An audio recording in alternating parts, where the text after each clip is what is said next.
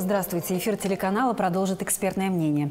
Сегодня у нас в гостях глава Сюмсинского района Владимир Семенов. Владимир Ильич, здравствуйте. Здравствуйте.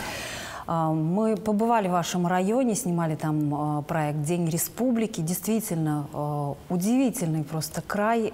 Сюмсинский район называют ягодным раем. И вот нам удалось как раз застать этот конец ягодного сезона. Местные жители рассказывают, что семьей, например, могут собрать по 70 литров в день ягоды. А вот э, насколько инвесторы готовы вложиться в это, я считаю, перспективное направление, в заготовку и переработку ягод? Да. Ну, начну с того, что Семсинский район мой родной район. И он, естественно, самый любимый, самый экологически чистый и самый лесной. На сегодняшний день мы считаем, что около 80% территории нашего района – это леса заречная часть, практически а, ну, очень много болот. Да, визитная карточка нашего района – это, конечно, лесная ягода. Это черника, это брусника, это клюква, есть книженика. Ну и э, такие ягоды, как э, рябина, калина и так далее. Это все есть. Вот сколько себя помню, всю жизнь мы всегда э, ходили в леса и собирали ну, в необходимом количестве себе ягод. Всегда были. Ну, мальчишкой, наверное, тоже собирали. Конечно, конечно. И грибы, и ягоды это, – это, вот, это наша тема. А на сегодняшний день наш земляк, э, он э, посмотрел, вот э, как неорганизованно мы собираем и используем эти ягоды. В общем-то, организовал небольшую фирму по переработке этих ягод. И на сегодняшний день, на начало, вернее, сезона, он заготовил 15 тонн ягод. Это вот именно брусника, э, черника и клюква. Переработка это что? Это варенье? Да. В перспективе он говорит так, пока у него сегодня три промышленных холодильника, эти 15 тонн он фасует, и а, отправляет а, в магазины. Выходил на торговые сети, но я думаю, что это перспектива следующего а, года. Вот мы с ним беседовали буквально недавно, может быть, недели две назад. Он говорит, что переработка обязательно будет, но объемы более 20 тонн, это интересует сетевые компании. На сегодняшний день пока нет. Пока вот так. Но в перспективе он уже закупил здание, сооружение и э, будет работать по вот этому направлению.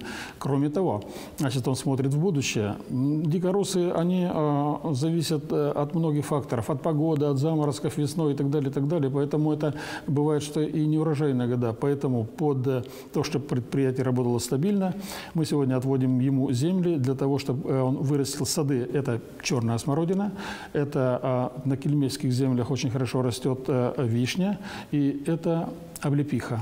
Вот эти пока три ягоды в перспективе. Если земли нормально мы отведем, успеем все это дело, на следующий год уже сады будут заложены. Это очень здорово.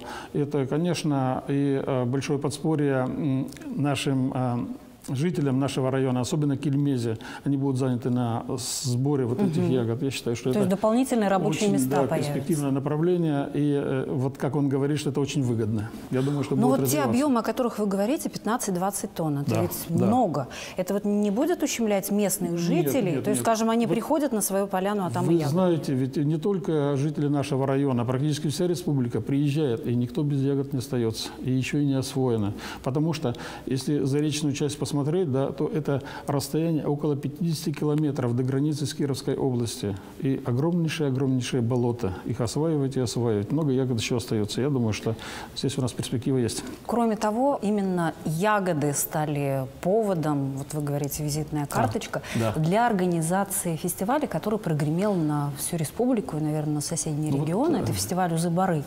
А, вот дальнейшие перспективы для развития этого фестиваля. Мы а, как бы подумали, у каждого района есть какая-то своя фишка. Вот э, выходят кто с бабой Ягой, кто с Дедом Морозом, кто с чем. Ну, а что вот э, тут думать и гадать? Мы, в общем-то, сразу определили, что наш район – самый ягодный район э, в Удмуртской республике. Поэтому по инициативе моего первого заместителя главы Дарских Людмилы Ефимовны разработали программу, сценарий проведения этого праздника. И вы знаете, у нас в 2017 году прошли сельские игры, а тут же провели вот эти узыборы как-то на одном дыхании. И получилось это очень здорово. Было воспринято и а, сначала в нашем районе. Ну и, и так мы посмотрели, конечно, что из республики приехали, с Минкульта посмотрели все это дело. И, в общем-то, мы сейчас вошли с этой программой в топ-100 мероприятий Удмуртской республики.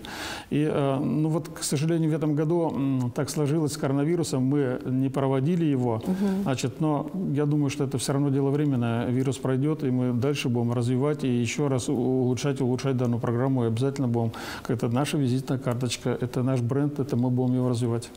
А, еще одна местная очень яркая достопримечательность – это Пумсинский висячий да. мост. Это лучшее место просто для фотосессий.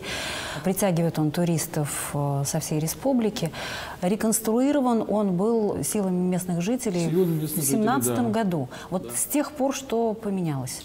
Ну, предыстория такая, это сплавной участок был. Этот э, мост э, был он э, давным-давно, значит, подвесной для прохода рабочих и жителей. На той стороне жители жили Кельмезе.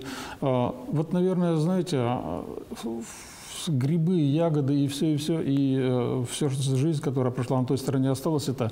И очень многие жители всегда выходили с э, предложением, давайте мы сделаем, давайте. Хорошо. Мы, в общем-то, подключили наших предпринимателей, наших жителей бывших, они привезли троса, выделили дерево и сделали этот мост вот такой, какой он сейчас есть. Да, красота, все это хорошо. Э, есть свободный проход на ту сторону, доступ к грибам, к ягодам. Знаете, он очень красиво смотрится. Э, потянулись люди с Ижевска, вернулись фирмы, которые значит, занимаются сплавом. Под это дело мы организовали площадки, организовали ну, крытые какие-то павильончики, где можно спокойно посидеть, отдохнуть, перекусить. Подвозка воды, подвозка дров, все это организовано. Сегодняшний день даже мы закупили часть катамаранов. При необходимости, если нужно, мы можем представить эти катамараны и организовать сплав. Все это у нас есть. Мы считаем, Посмотрите, это... мост просто сейчас да. начинает обрастать какими-то подробностями, да, жизнь снова да, кипит да. в этом Мы, месте. Вот у нас уже как бы две пристани есть. Следующая пристань также это в районе Орловского моста планируем сделать. Но это вот длиняется маршрут э, сплава. И вот в прошлом, позапрошлом году, знаете, целые вереницы катамаранов шли. В этом году, к сожалению, ну вот с коронавирусом поменьше было организованных сплавов. Были дикие сплавы, но, но тем не менее поменьше было. Ну, вы вообще такой очень важный момент отметили, что для э, значимых проектов не всегда привлекаются средства республиканского бюджета, муниципального. Э, действительно, жители ведь откликаются, да. какие другие подобные проекты были поддержаны именно местными жителями. Жители просят и готовы вложиться в это в ремонт дорог, особенно в новых участках, где мы отводим землю, э, новые поселки. Это освещение улиц, ну, в общем-то, и, и газификация, частично газификация, да. Что вообще сделано муниципалитетом вот в этом году? Может быть, какие-то значимые для района объекты и э, ремонты вы бы отметили? В этом году, э, если брать текущие ремонты. Текущий ремонт произошел, это э, центральная районная больница от Москвы ремонтировали, это э, Маркеловская школа ремонтировалась, это детский сад номер один отремонтировали. Ну и э, строительство ФАПа в Сюрике на сегодняшний день идет. Я думаю, что до Нового года они должны это завершить. Вот эти э, значимые как бы для нас, э, хотя они небольшие, но тем не менее значимые моменты, работы были проведены. Но не могу не вспомнить, что газификация продолжается в Сюмсинском районе, и многие именно вот небольшие населенные пункты были газифицированы.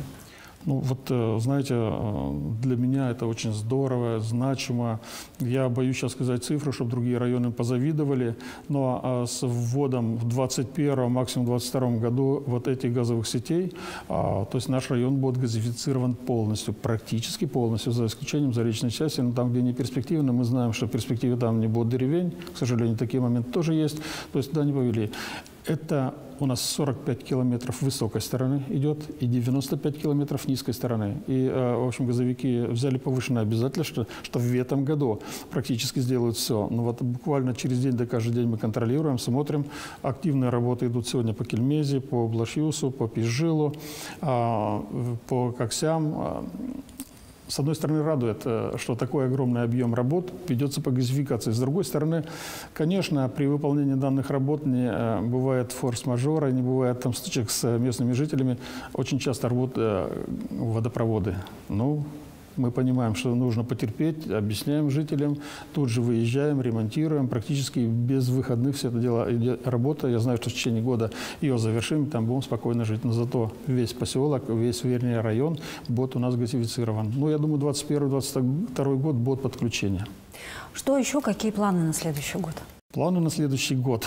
Ну, здесь э, по Кельмезе, вот я уже э, сказал, что по Кельмезе у нас большие работы по газификации идут. Мы планируем также э, вошли в федеральную программу по модельной библиотеке. Там работы будут проводиться. И на 2021 год согласовали строительство Дома культуры на 100 мест по э, Кельмезе. Это ремонт Орловского Дома культуры, кровли согласовали. И газификация поселка, э, у нас северный поселок в Сумсях. Это будем делать. Пусть все эти планы исполнятся. Я желаю развития вашему району. Глава Сюмсинского района Владимир Семенов был сегодня у нас в студии. Спасибо. Это экспертное мнение. Увидимся. До встречи. Спасибо.